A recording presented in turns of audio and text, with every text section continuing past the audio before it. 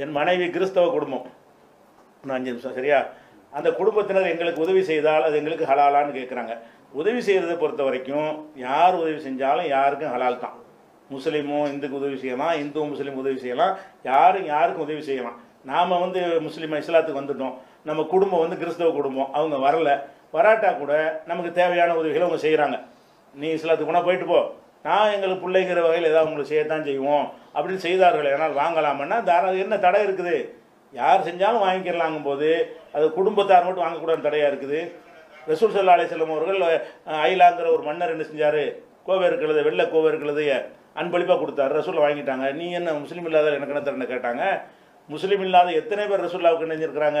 அன்பளிப்புகளை கொடுத்துருக்கிறார்கள். ரசூல்லா வாங்கியிருக்கிறாங்க. முஸ்லீம் அல்லாதவர்கள்ட்ட வாங்கக்கூடாது என்றும் நம்ம இஸ்லாத்தில் இல்லை. முஸ்லீம் அல்லாருக்கு நீ கொடுக்கக்கூடாது என்றும் இஸ்லாத்தில் கிடையாது. ரசூல் சல்லா செல்லம் காலத்தில் வந்து இந்த மாதிரியான ஒரு விஷயங்கள் என்னென்னு கேட்டால் ஒரு ஒரு சம்பவம் புகாரில் ரெண்டாயிரத்தி அறநூற்றி இருபதாவது ஹதீஸில் இருக்கிறது. என்னுடைய தாயார் என்னை பார்க்க வந்தார்கள். யார் சொல்கிறா அஸ்மா சொல்கிறாங்க அஸ்மாண்டா ரசூல்லாவுடைய அபுபக்கர் சித்திக்குடைய மகள்.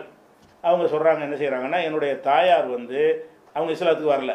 அபுபக்கர் இஸ்லாத்துக்கு வந்துட்டார். இந்த அஸ்மாவுடைய தாயார் அவங்க என்ன செய்யலை? இஸ்லாத்துக்கு வரல.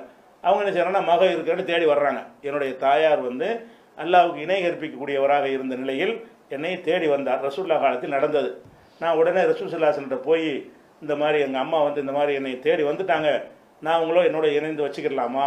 அவங்களுக்கு தேவையானது செய்யலாமா? அப்படின்னு கேட்குறாங்க அப்போ அசில் உம்மி என் தாயை நான் சேர்த்து கொள்ளலாமாண்டா? எல்லாம் அடங்கிடும் சேர்த்துக்கிட்டு சும்மா வச்சுக்கிறதா? தேவையான எல்லா பணிவிடைகளும் செய்வோம். அப்போ செஞ்சவன சொல்ல என்ன செய்கிறான் நாம் சிலி உம்மிக்கு உம்மைக்கு உன்னுடைய தாயாருக்கு நீ சேர்த்துக்கொள் அப்படிங்கிறாங்க. அப்போ முஸ்லீம் அல்லாதம தான் இருக்கிறாங்க. அவங்களுக்கு தாய்ங்கிற வகையில் செய்ய கடமை தாராளமாக செய்யி அப்படின்னு தான் அல்லாவும் சொல்லி காட்டுறான்.